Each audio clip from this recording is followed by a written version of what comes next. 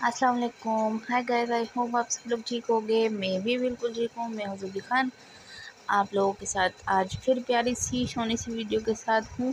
और ये मैं आज आपको बताऊँगी जूड़ा बनाने का तरीका। बहुत इजी मेथड से बनाएँगे, बहुत इजी से, ताकि बहुत आसानी से सब बना सकें।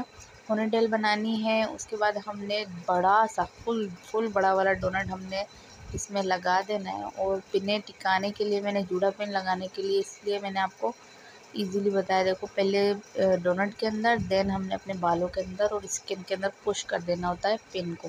पर इस तरह से पुश कीजिएगा कि क्लाइंट को या कस्टमर को पेन ना हो इरिटेट ना हो इस तरह से।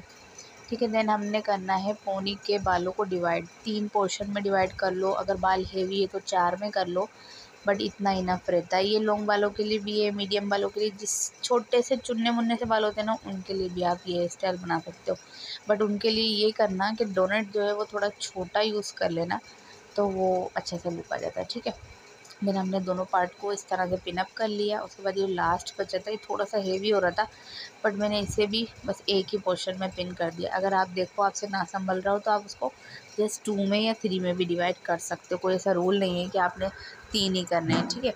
उसके बाद हमने ये जो ऊपर बचे हुए बाल है ना, सारे जो हमारे छूटे हुए, उसको हमने करना है नीचे और उसकी बनानी है एक अच्छी सी ब्रेड बहुत क्लीनली कॉम करके। उसके बाद हमने इसे करना है मेसी पूरा एक एक बल उसका अच्छे से खोल देना है। थोड़ा स्लो स्लो खोलना। मैंने यहाँ वीडियो की जो स्पीड है वो थोड़ी फास्ट रखी है ताकि आप लोग फिर, आप लोग ही बोर हो जाते हो यार। थोड़ी लंबी वीडियो होती है तो आप लोग भगा भगा के स्किप कर कर के देखते हो तो फिर फ़ायदा।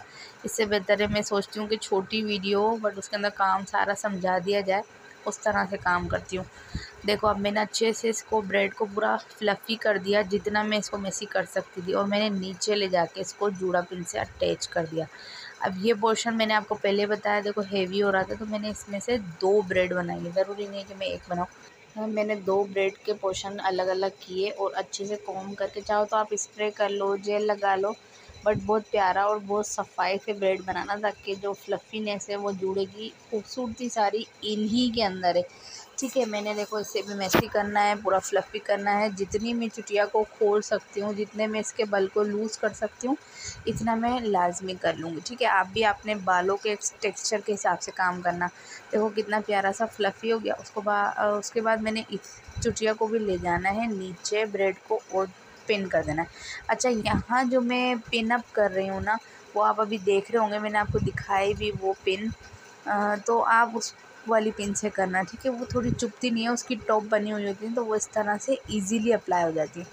और कस्टमर इरीटेट भी नहीं होता, उन्हें कोई दर्द या कुछ बनोबन भी नहीं होती। ठीक है, अब मैंने ये लास्ट वाला इस साइड का जो लास्ट लास्ट पोर्शन लिया, इसी तरह से ब्रेड बनाई फ्लफ़ी किया देन मैंने नीचे से पिन कर दिया। ठीक है, एक साइड का काम मेरा यहाँ डन होता है, दूसरे साइड से भी मैंने सेम यही काम करना है तो इतनी ज़्यादा मैंने वीडियो लंबी करनी नहीं है। आई होप आप लोगों को यहाँ तक ये सब सारी चीज़ें समझ आ गई होंगी। सही है लास्ट पार्ट को भी मैंने नीचे से इसको अच्छी तरह पिनअप से टिका लिया, पूरा फिनिश कर दिया स्प्रे करना, लाजमी प्यारा सा लुक आता है। इसके बाद आपके पास हेयर की जो भी एक्सेसरीज़ है या कस्टमर जो अपने साथ ले आया है रियल फ्लावर लगाते हो तो बहुत ही कोई प्यारा लगता है बट मेरे पास यहाँ ये मौजूद थे तो मैंने ये लगा दिए। आई होप आप लोगों को अच्छा लगा हो, समझ आया हो, और अगर समझ आया अच्छा लगे तो please like share and subscribe इंशाल्लाह नेक्स्ट वीडियो में मुलाकात होती है। अपना ढेर सारा ख्याल रखिएगा। अल्लाह हाफ़